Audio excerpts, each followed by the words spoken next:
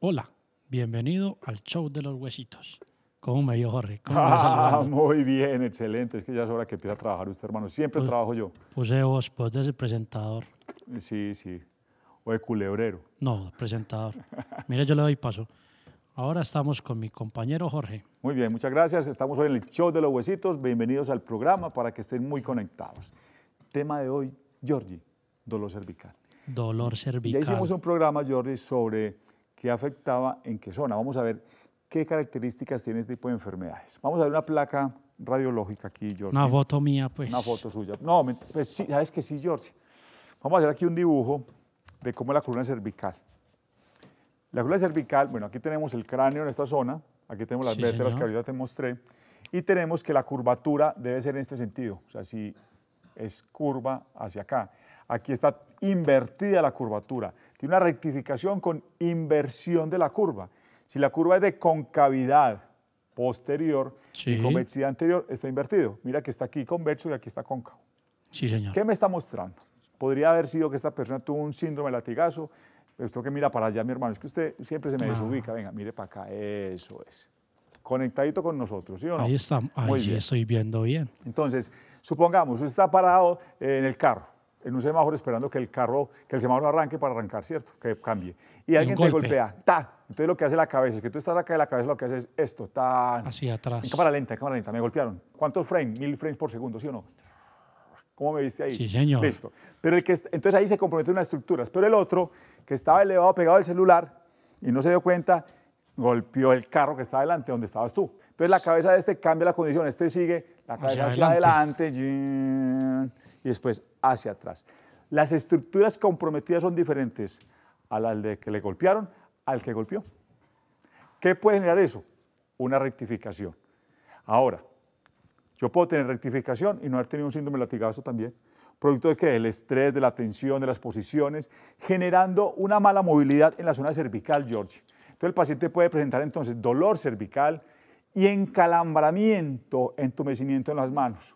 El Eso, paciente, eso da del dolor cervical. ¿cómo Que así? se le encalambren las manos a uno. Bueno, si se encalambra una mano, puede ser producto de muchas cosas. Hay un síndrome que se llama el túnel del carpo, George, no sé si lo has escuchado. Sí, señor. pero muchas veces pensamos que el túnel del carpo es solamente en esta zona. Puede haber una compresión muscular desde la zona, desde acá donde estamos, en los músculos dectopectorales, en esta zona de acá, en la parte del subclavio, en la parte clavicular, en la parte que sale por acá, en la, en la zona cervical, que sigue por acá el recorrido de todo ese plexo.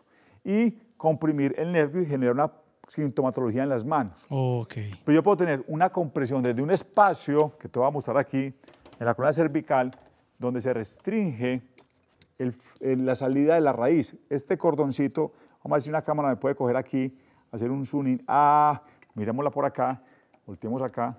Aquí se ve una raíz. Sí, señor. Muy bien, Ahí esta me estoy raíz. viendo. Aquí se ve esta amarilla, es una raíz, porque la roja, Jordi, es la arteria vertebral posterior. Entonces, este cordoncito se ve comprimido, se ve ap- apretadito, producto de qué? De una discopatía. Si el paciente tiene enfermedad discal y el espacio entre vértebra y vértebra, tengo un amigo invitado por acá, ve, también para que miremos acá, A ver. aquí rapidito. Tengo el disco intervertebral, esto se va deshidratando. Tengo una enfermedad discal como, por ejemplo, una hernia. Eso hace que el espacio, por el agujero, agujero de conjunción, por donde sale, emerge la raíz, se comprima. ¿El paciente qué siente? Debilidad, encalambramiento, que tiene una compresión radicular. Ok. Cierto. Sí, señor. Está rectificado y además tenemos que una compresión de la raíz. ¿Qué necesitamos, Georgie? Un estudio, que nos mande una electromiografía, ir donde el médico, que nos manden los estudios Una correspondientes. electro... miografía, electroelectricidad. Mio de músculo y grafía de gráfica, porque hay una gráfica que se hace para, para ver la actividad eléctrica que tiene ese cordón que viene con un potencial eléctrico, que es lo que realmente se va a determinar cuando hay una afección o que no haya afección. Ok. ¿Cómo le pareció, George? Muy interesante, Jorge. Cortico, pero clarito. Sí, señor. Muy bien. Y si Pero- alguien tiene alguna duda, pues Ah, que nos consulten en Artros. sí, eso lo miramos allá, pacientes con cervicalgia, con dolores radiculares, túnel del carpo, debilidad muscular, que las cosas le caen, que no puede dormir bien, para que nos llames. Seguiremos aquí construyendo salud. Eso es lo que hacemos acá en el show de los huesitos. Espero que estéis conectados con nosotros. Hasta la próxima, amigos. Chao, chao. Chao, chao.